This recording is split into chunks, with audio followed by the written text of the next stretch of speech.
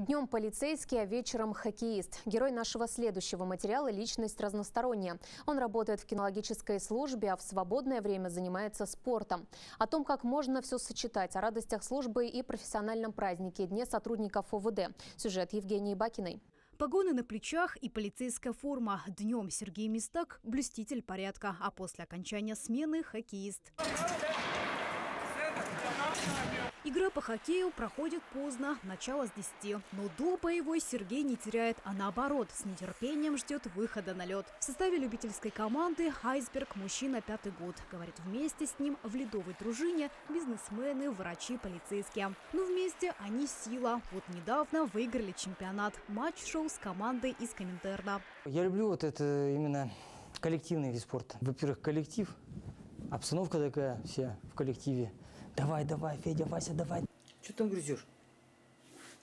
Помимо спорта, еще одно увлечение – это собаки. Дома Сергея ждет хоть и декоративный, но натренированный чихуахуа. Годовалый Ньютон, говорит, понимает все команды. А на работе с поручениями Сергея весьма успешно справляется жгучая брюнетка по кличке Джесс. Боевые товарищи, они пятый год. За это время осмотрели сотни бесхозных сумок. Ведь нос четвероногой заточен под поиск взрывчатки. А как все работает, показали на карусели. Ее специально для тренировок сделали сделал Сергей. Ну, допустим, если надо понять, что, что надо пронюхать, ну, начинаем работать. Она, то есть, должна найти и дело зависать. Ко мне.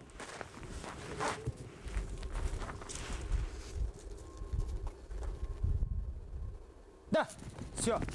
А еще Сергей обучает молодых коллег кинологическому мастерству, передает им знания, собранные за 26 лет службы, и дрессирует крокодильчиков, так он называет щенят.